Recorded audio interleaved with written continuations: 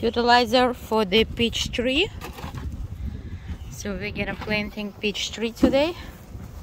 This is the actual land here, full of sand. It's good to growing some cactuses, and we try to growing right now with one here in a peach tree. So I love I love peach. So we want to get a peach peach tree.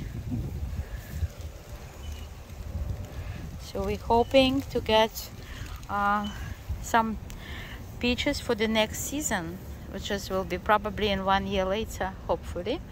The peaches usually blooming in May, sometime in April, April, uh, late April, May, and after this, the peach is growing by some uh, time by July, end of July. This will be ready.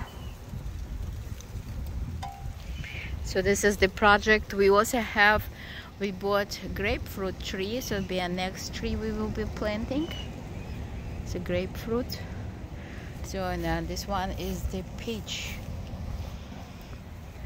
Uh, we also need some prune this tree a little bit.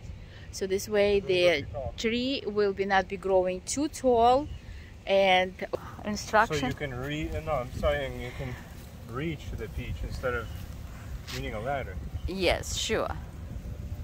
But uh, the place, the country water. when I live, the trees was very, very big, growing very big. Full light and uh, semi-moist. Just water once a week, as far as I understand.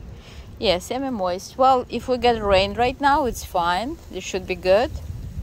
But in any case, um, we still have some damage after the people parked this truck here. This grass is not here, so we will be planting some flowers as well.